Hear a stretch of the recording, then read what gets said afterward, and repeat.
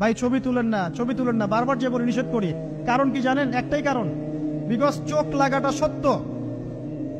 মানুষের মানুষের চোখ লাগে। এই কথা শুনলে অনেক মজুমদাররা হাসবে। হাসবে না? কথা বুঝতে পারেন নাই? কিন্তু এটা সত্য, কারণ নবী করিম সাল্লাল্লাহু আলাইহি ওয়াসাল্লাম যা বলেছেন, সাদাকাল্লাহু ওয়া নবী যা বলেছেন, আল্লাহ যা বলেছেন, চিরায়ত সত্য। এর বাইরে কোনো সত্য আছে? আচ্ছা দেখেন, আমি বললাম যে জাদুবিদ্যা সত্য। এই জাদুবিদ্যার চর্চা মানুষ করে এখনও করে। এবং এই জাদু দিয়ে মানুষের ক্ষতি করার জন্য জিনের প্রয়োজন হয়, দুষ্ট জিন। এই জিনগুলোকে মানুষ তাবে করে মানুষের ক্ষতি করার চেষ্টা করে। দেখবেন, এখন গ্রামে, গঞ্জে, শহরে সব জায়গায় ছড়িয়ে পড়েছে না? দেখবেন, খুব সতর্ক থাকবেন। আমি পরে সলিউশন বলছি আপনাদেরকে। আরেকটা বলেছি, নবী সাল্লাম বলেছেন, চোখের বদনজর এমন সত্য যে একটা উটকে এই রান্নার ডেকচির মধ্যে ঢুকাই ফেলতে পারে। মানে একটা উট খুব সুন্দর, ভালো আপনি দেখছেন মাশাল্লাহ বলেন নাই, নজর লেগেছে, উটটা মারা গেছে, দেন দেন, তারপর তাকে জবাই করে খেয়ে ফেলতে হয়েছে। একজন সাহাবি গোসল করছিলেন, গোসল, এটা হাদিস সই যে আলেমুলামা যারা আছেন, তারা জানেন যে এই একজন সাহাবি গোসল করছেন, তার গায়ের চামড়াটা খুব সুন্দর ছিল, একদম স্কিনটা অনেক সুন্দর। থাকে না এমন কিছু মানুষ? আচ্ছা এখন আরেকজন সাহাবি এই গোসল দেখছেন দূর থেকে।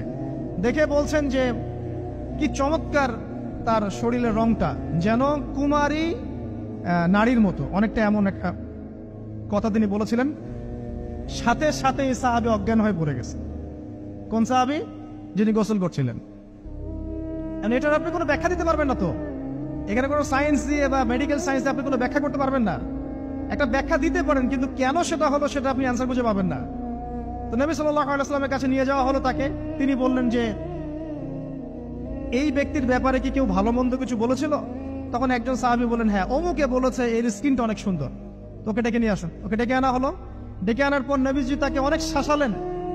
তোমরা তোমাদের ভাইদেরকে কি মেরে ফেলতে চাও?